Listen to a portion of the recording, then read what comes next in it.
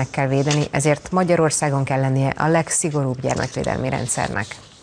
Ez a tény, hogy egy 15 éves szeretőm van, ez sokaknál kiverte a biztosítékot. Egy hete töltötte fel az internetre az egyik budapesti iskola 40 év körüli pedagógiai asszisztense azt a videót, amelyen büszkén jelentette be, egy 15 éves fiúval van szexuális kapcsolata. És miért nem problémás ez az egész? Az erről beszámoló Pesti srácok értesülései szerint a férfi már négy évvel ezelőtt egy káptalanfüredi ottalvos táborban is kiskorú tanulókkal foglalkozott, akik akkor 10-13 évesek voltak. Simogattam a trikóján keresztül, Kiderült az is, hogy alsós iskolásoknak engedély nélkül szexuális felvilágosító órát is tartott. A szülők arra panaszkodtak, korábban is voltak már problémák a pedagógiai asszisztenssel, szembeszállni azonban nem mertek vele. Engem olyan emberjogi szervezetek képviselnek, mint a TASZ, a Helsinki Bizottság, az Amnesty International, de még a PDS, a Pedagógusok Demokratikus Szakszervezete is. A tanár egyik kisfilmjében azzal fenyegetőzött, hogy az, aki őt jogilag megtámadja,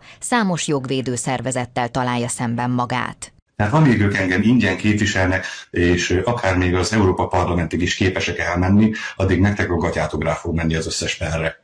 Előre szólok. A fiatal fiúkat megrontó férfit azóta elbocsátotta a tankerület. rágondoltam a, az izzadságtól a testére simuló mezre, a csatakos hajára és a játékos izmos lábaira. A gyomorforgató videóiról elhíresült férfinél sajtóértesülések szerint a napokban házkutatást is tartottak. A készenléti rendőrség nemzeti nyomozóiroda szóvivője az m az ügyben megerősítette, a hatóság gyermekpornográfia miatt nyomoz ismeretlen tettes ellen. 157 igen, egy nem, szavazattal tartózkodás nélkül elfogadtam. Az országgyűlés 2021. júniusában fogadta el a pedofil ellenes és gyermekvédelmi törvénycsomagot. A gyermekek védelme érdekében elmentünk a folig. A A kormány azután döntött a szigorítás mellett, hogy kiderült, a volt perui magyar nagykövet Kaleta Gábor hivatali laptopján a hatóságok csak nem 19 ezer pedofil képet és videót találtak, ám végül egy felfüggesztett börtönbüntetéssel